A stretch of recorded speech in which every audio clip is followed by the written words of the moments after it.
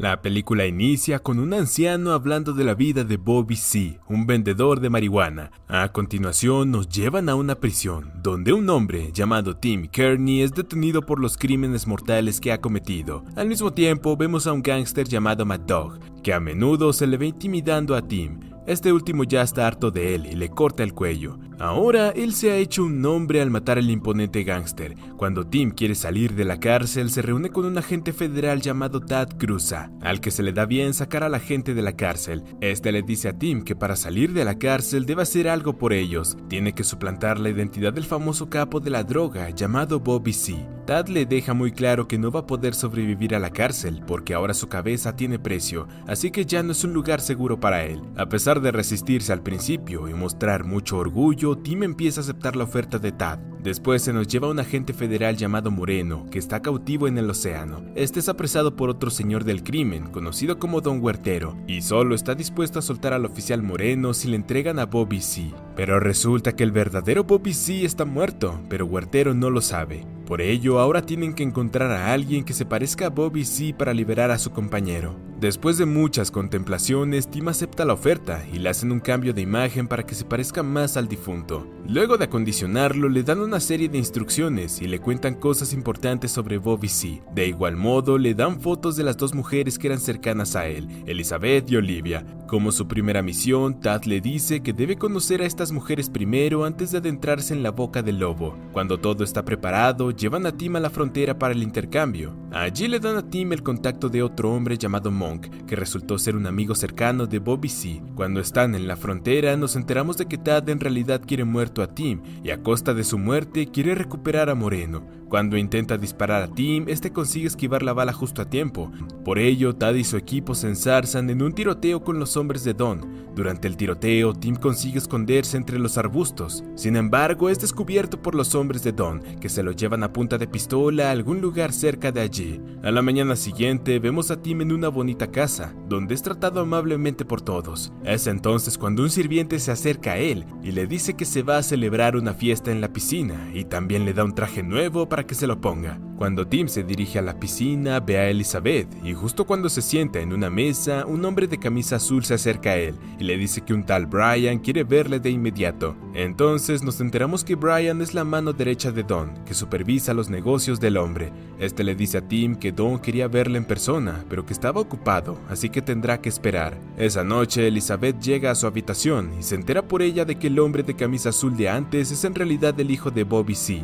Luego de su breve conversación, ambos terminan haciendo el delicioso. Allí ella le dice a Tim que Dom le va a matar después de hacer el intercambio. De inmediato Tim hace un plan para escapar. Sin embargo, cuando está a punto de salir, el hijo de Bobby C, Kit, le descubre y le pide que se lo lleve también. Tim se siente mal por el chico y le dice que la acompañe. Poco después se las arreglan para conseguir un caballo y salir de allí. Sin embargo, no resulta un paseo por el parque, ya que Brian se entera enseguida de su fuga y le dice a sus hombres que lo traigan de vuelta. Kit, quien no es más que un estorbo para Tim, es dejado entre los arbustos y se le ordena que no salga mientras él se encarga de los hombres que lo persiguen. Resulta que Tim es un ex marín, debido a esto es un buen luchador y estratega, por ello es capaz de darle una paliza a los hombres. Luego se va con el niño en la moto. Mientras conducen se quedan sin combustible, por lo que sin más remedio siguen su camino a pie. En otro lugar, Brian azota a Elizabeth como castigo, por contarle el plan a Tim. Como Tim anda suelto, decide darle el trabajo a uno de sus mejores hombres, Johnson,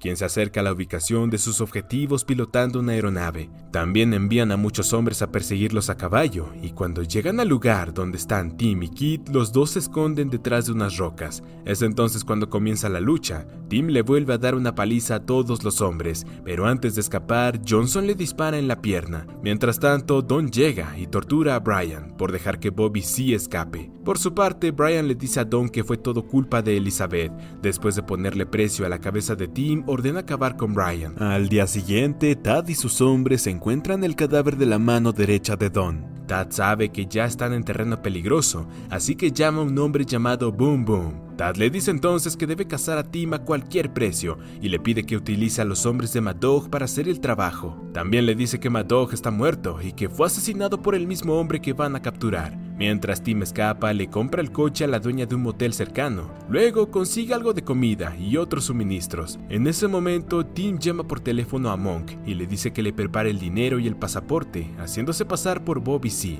Como respuesta, Monk le dice a Tim que le vea en su casa por la mañana. En otro lugar, Johnson se dirige al motel en el que se alojaron y pregunta a la mujer por Kit y Tim. Johnson entra entonces en la habitación en la que se alojó Tim y también vemos allí a Boom Boom. Cuando Tim y Kit vuelven al motel, este se entera de que alguien les está esperando. Justo cuando Kit va a abrir la habitación, lo coge y sale corriendo de allí, mientras la habitación explota y Johnson muere. Pero justo cuando están a punto de salir de allí, aparece Boom Boom y empieza a dispararles. Por suerte, Tim consigue derrotar al hombre y le quita la moto. Al día siguiente, Monk celebra una fiesta cuando Tim llega a su casa, en donde vuelve a ver a Elizabeth, que le dice que sabía desde el principio que él no era Bobby C. Tim le cuenta entonces la verdad sobre quién es, y mientras tanto, Tad llega allí con sus hombres. Elizabeth le dice entonces que Monk ya conoce la verdad y que sabe perfectamente que no es quien dice ser. También le dice que ha convencido a Monk para que le ayude a escapar de la gente que quiere matarlo. Entonces se dirigen al puerto, donde Monk ya le está esperando con el pasaporte y el dinero en efectivo